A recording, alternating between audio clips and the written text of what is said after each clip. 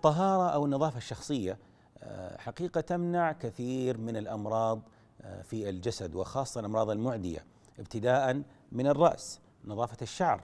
حينما يغسل الإنسان آه، شعره بإذن الله عز وجل يمنع كثير من الأمراض كذلك صحة الفم والأسنان وأمراض العين. تقي كذلك من أمراض الجسد بشكل عام سواء أمراض البكتيرية أو الفيروسية أو الفطريات. فكلما كان المسلم آه، طاهرا ونظيفا كلما كان صحيحا وصحيا. نسأل الله عز وجل أن يحفظنا جميعا وأن يرزقنا الحياة السعيدة والصحية.